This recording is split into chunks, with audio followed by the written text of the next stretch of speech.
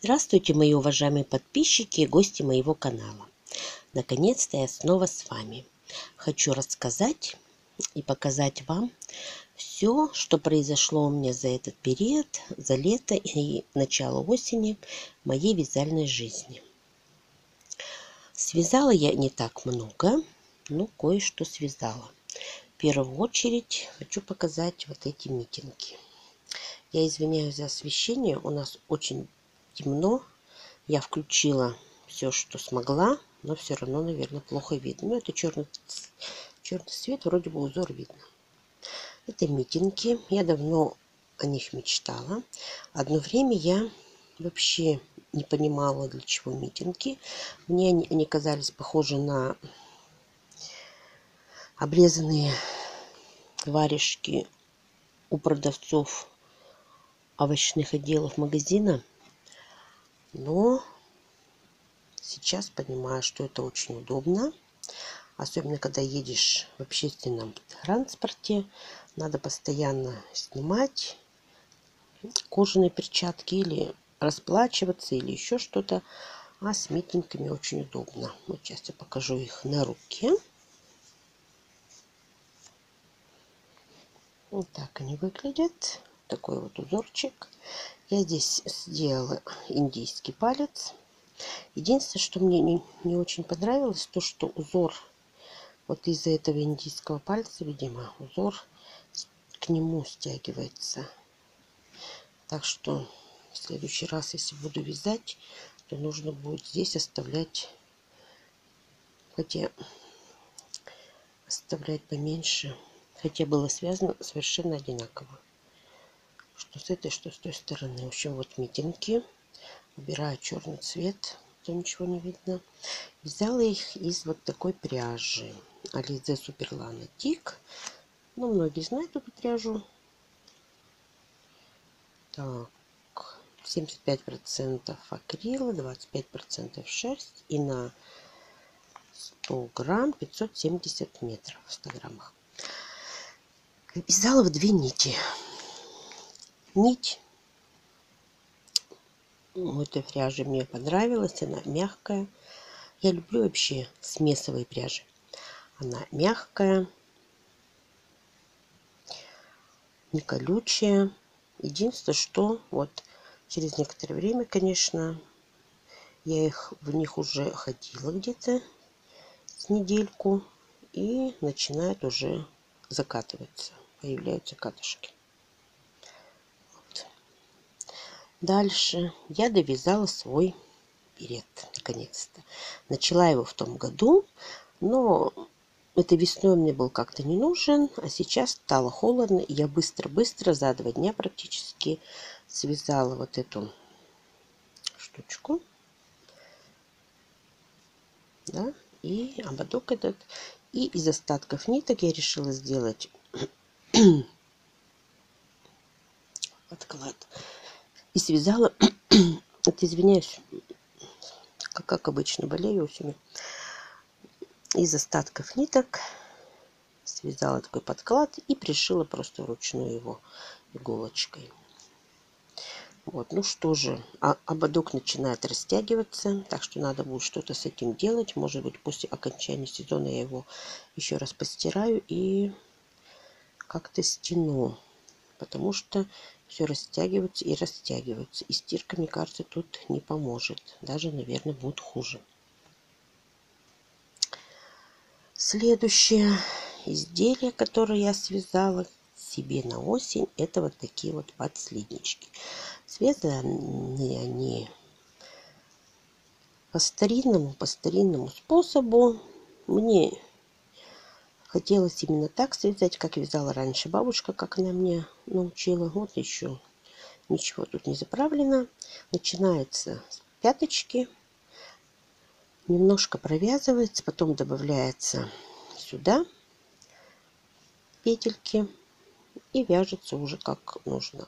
Они, их очень хорошо надевать в сапоги, потому что, ну, раз у меня это высокий взъем или подъем, как сказать, не знаю даже, то в носках сапоги не закрываются на молнию.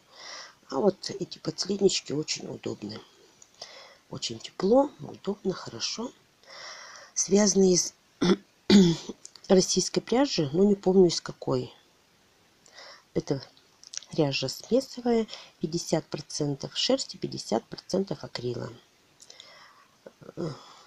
Толщина, ну где-то 250, наверное, метров в 100 граммах. Вот такие подследнички у меня появились. Так что к зиме, нет, к поздней осени, холодам я почти готова. Вот, кстати, этот берет еще раз напомню, я не сказал, я вязала из ряжи кашмира, ну, черного, естественно, цвета. В 100 граммах 300 метров и состав здесь чистая шерсть. Стопроцентная шерсть. Так, ряжа совершенно не колючая и очень-очень теплая. Но, но, к сожалению, вот она растягивается. Я хотела еще связать вот такую шапочку, такого цвета, а потом думаю, что я буду ходить как это красная шапочка. И вот думаю, может быть, добавить сюда черный цвет и связать, попробовать связать шапочку в стиле бриош. В общем, посмотрим. Посмотрим, что еще. Может, что-то другое придумаю. И вязала я все лето вот эту вот скатерть. Но это еще не скатерть, это я просто положила, чтобы показать вам. Еще ничего тут не проглажено, не расправлено. Эту скатерть я, я начала вязать давным-давно. Вот из такого вот журнала. Это вроде бы Валентина журнальчик. Я когда увидела, я в эту скатерть влюбилась. Но такую большую мне не нужно было, просто нужно было на журнальный столик такую большую салфеточку. И вот вяжу уже много-много лет, лет пять, наверное, не знаю, когда свяжу. Вязала я эту скатерть из пряжи комбината имени Кирова. Стопроцентный хлопок и вот такой льняной цвет интересный. Далее. Летом у нас была распродажа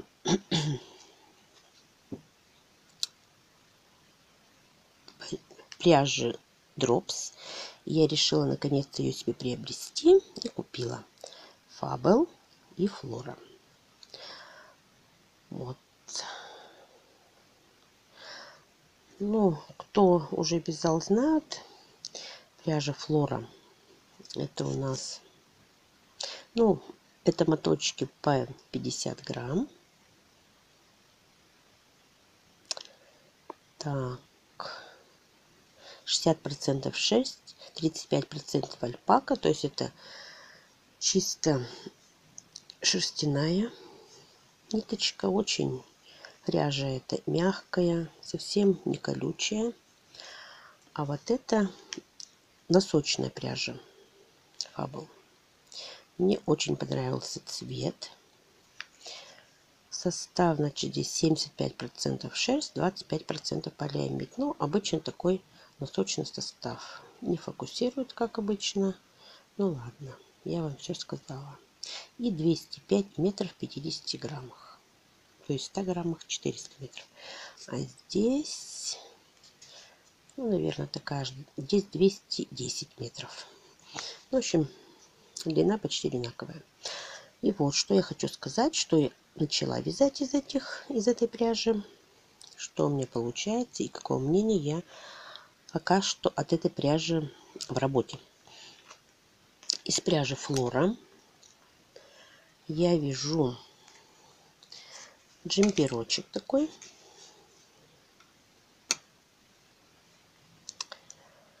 Начала сверху я вот жемчужным узором. Потом ввела этот узор тоже вот в такой жемчужный узор. Тоже у меня в узоре вот присутствует цвет. Совершенно не видно цвет, как я бы назвала сиреневый туман. Что-то такое. Сиреневый, но такой он какой-то неяркий. Сера немножко. Ну, что хочу сказать. Пряжа очень мягкая, очень ровно ложится. Хотя я вязала это везде, все лето, когда находилась свободная минутка. Ложится ровно, аккуратненько. Ну, такая хорошая пряжа. Удобно. Удобно вязать. Мягкая. В общем, понравилось. Но вот эта пряжа Fable я вяжу тоже такой джемперочек. И вот от этой пряжи я вообще в восторге. Ой, извиняюсь, тут у меня что-то все запуталось. Вот так. Посмотрите, какой цвет. И вот я здесь вообще узоры решила не брать. Я вяжу сверху. Чуть-чуть провязала платочной вязкой. Потом решила, что я, наверное, как раз посмотрела видео Ольги Тратьевой, что она говорит, чтобы вырез, это круглый вырез обычно получается не круглый, а каре, когда вяжешь регланы, что лучше в конце надвязать еще несколько рядов. Я так решила сделать. И вяжу просто платочной вязкой. Вот такие получаются красивые линии. Такой узорчик. Это у меня как отдыхалочка. Я вяжу, ни о чем не думая. И то, что нить такая вот она неравномерная. А где-то бы найти. Вот. Неравномерная. Она то потоньше, то потолще. Но полотно получается ровное. Я поняла, что, ну, что она такая неравномерная по толщине. Это все-таки зависит от состава. Где-то, наверное, больше шерсти, где-то акрила.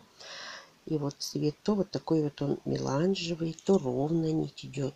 И от этого как-то вяжется так просто легко, интересно. Хочется все вязать и вязать, не останавливаясь. Ждешь, какая же секция начнется дальше. В общем, эта пряжа мне очень понравилась. Я все-таки поняла, что люблю больше смесовую пряжу. Не, не чистую шерсть. Она мне как-то по, по ощущениям понравилась больше. Прямо очень приятно к телу нежная, мягкая такая. И вот если говорить о цене, то, в принципе, конечно, дороговато, хотя скидки бывают частенько. Но вот у меня джемперочек выходит, у меня хватит, получается, 6 моточков я купила, и мне их полностью хватает. Вот у меня уже я заканчиваю низ. Тут еще осталось немножко, как раз мне хватит. И на рукава у меня по одному моточку. Я уже буду вязать, сколько хватит длины. Вот здесь секции получаются такие, естественно, пошире. Потому что рукав уже. Я начинала на круговых спицах 40 сантиметров. Сейчас перешла уже на 5 спиц. Потому что мне кажется, что